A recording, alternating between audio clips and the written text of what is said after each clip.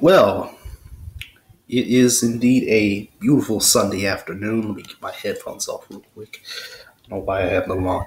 It's a beautiful Sunday afternoon.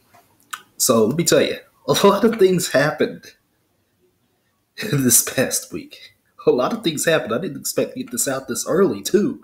But things happened this weekend. Let me tell you. Um, so let's start with the NAL first because there's a lot that happened. A lot happened. You have you have the West Texas Warbirds beating the Albany Empire 41-38, and then San Antonio continues to stay undefeated. They beat Fayetteville 40 to 27. Look at the standings right now. The Empire are one and three. West Texas won their first game. San Antonio still unbeaten. But everything else made this week completely insane.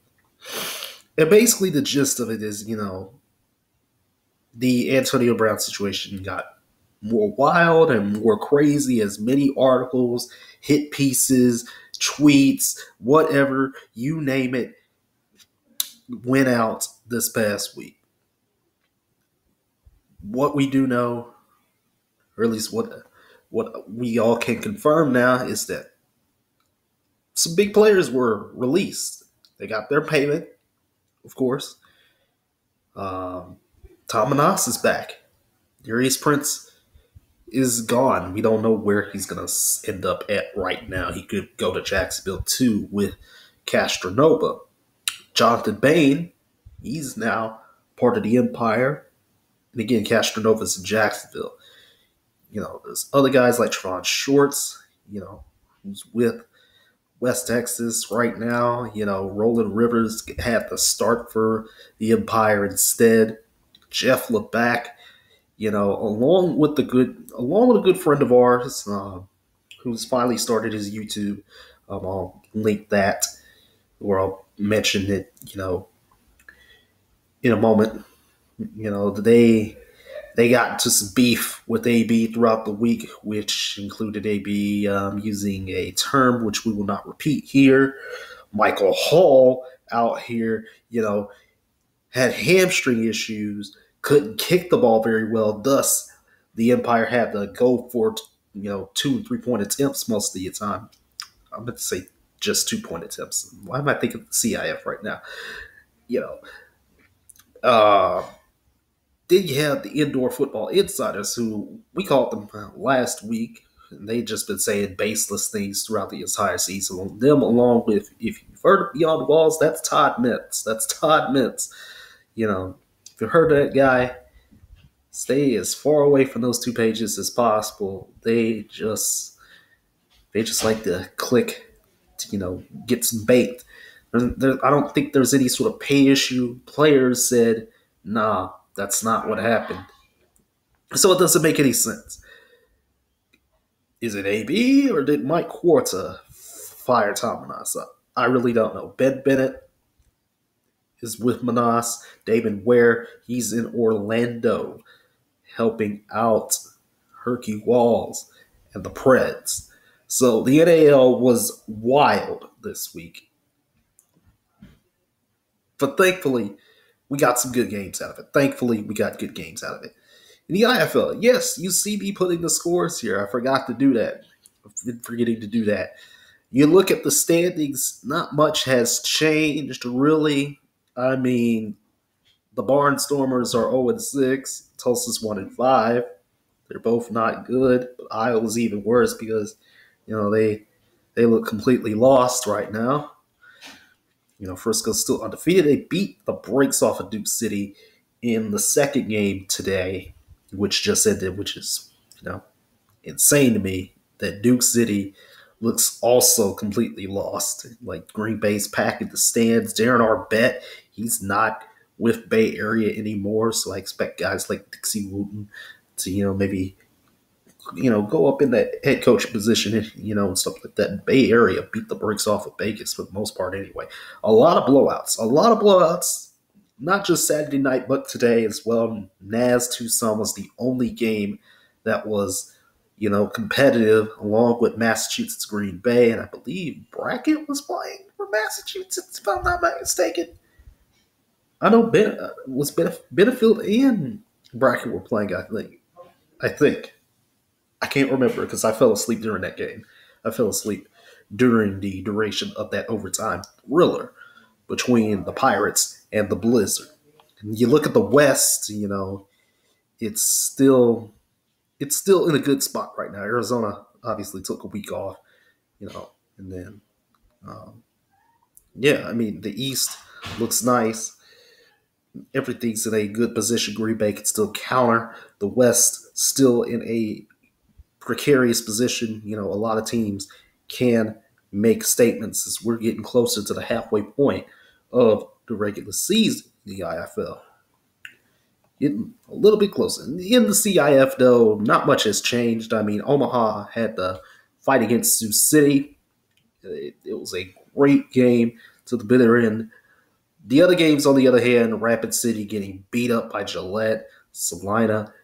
You know, you know. I mean, sure, Southwest Kansas kept it close early, but the Liberty too much the end of it. Billings beat the brakes off of Topeka. Billings clinched a playoff spot. I mean, whoop de doo. In a, in, a, in a league where, you know, the top six out of eight teams make the playoffs. Whoop de doo. It's up to Southwest Kansas, who plays Rapid City and Topeka as their final two games. Oh boy. Oh boy. This is going to be quite funny. Will Rapid City and Topeka even have a win this year? I left that as a question in the community tab. So I hope somebody answers that. Somebody please answer that. Will Rapid City and Topeka get a win this year? Uh, it's going to be hilarious, you know, if they both end up 0 10. And then everybody else, AWFC, as I expected, as it has been long expected, Idaho replaced that Capital City game that they were supposed to play last night with the Desert Sentinels out of another unrelated Semi Pro outdoor league or whatever. Idaho easily took care of business 86 to 30.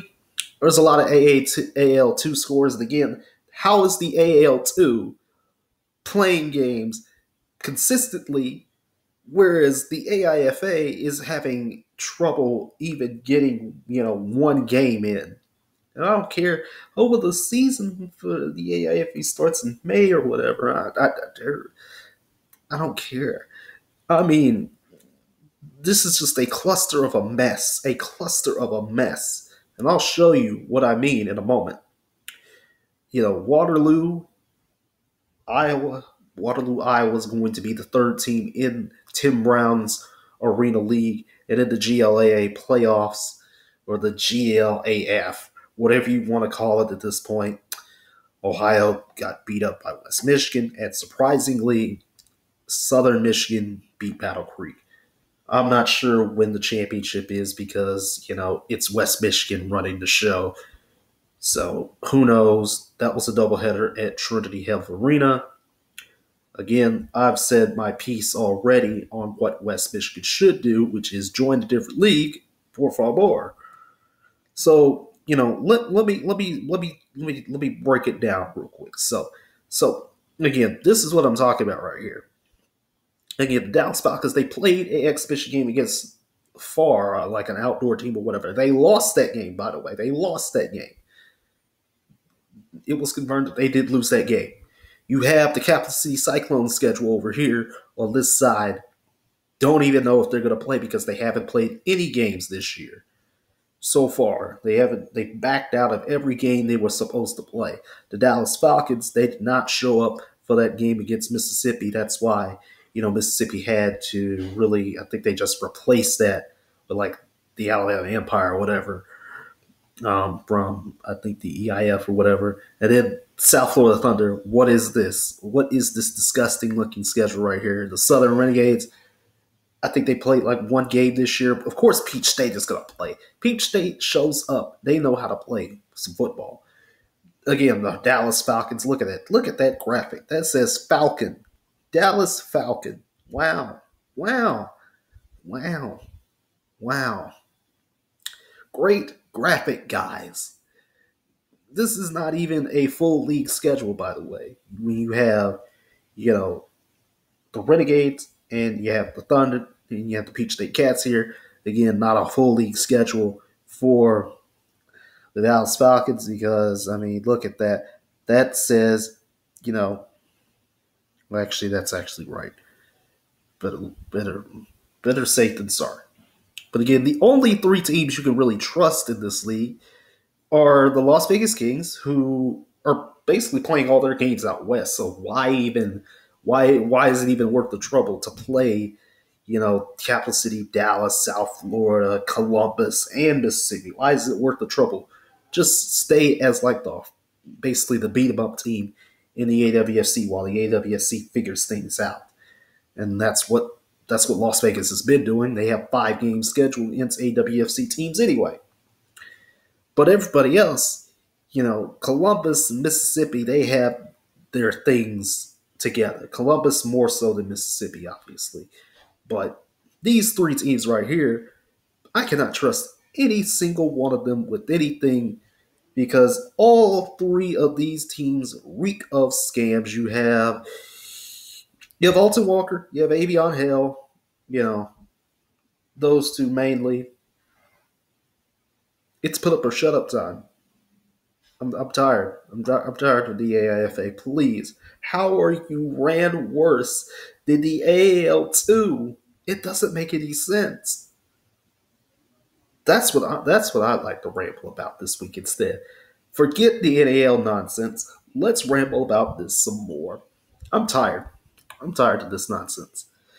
We'll see what the schedule, you know, looks like next week for the AIFA. We'll see. We'll see what happens next week. NewCon couldn't figure it out either. I can't tell you.